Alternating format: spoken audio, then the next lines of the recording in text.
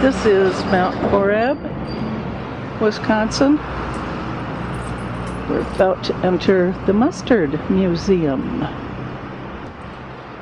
Shoot through the window, okay? I'm shooting through the window, the display window.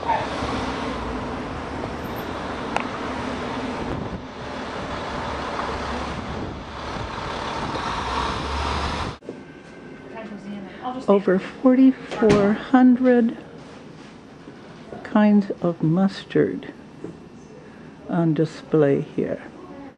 And here we have French's Mustard Man. Mustard in tins.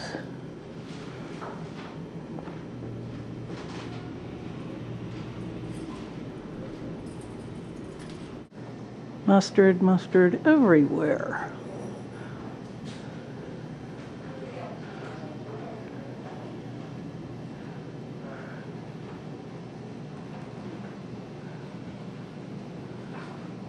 Did you know that mustard had baseball cards? Well, of course, baseball and hot dogs are synonymous. Would you believe champagne mustard? The ever popular Colman collection.